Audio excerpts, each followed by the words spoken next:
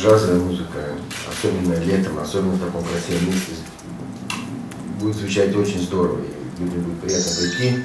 Мы уже были в Горках Ленинских, это замечательное место, там огромное есть, и пространство действительно для каких-то супер open air, но уже с музыкой, которую мы играем, которую мы проповедуем, которую мы пропагандируем, эту джазовую музыку во всех ее проявлениях. Поэтому, конечно, когда идет речь о Московской области, то это то место, где должны проходить фестивали различных э, э, стилей. Поэтому с огромным энтузиазмом мы поехали с Нарой э, в Горки Ленинский, посмотрели и просто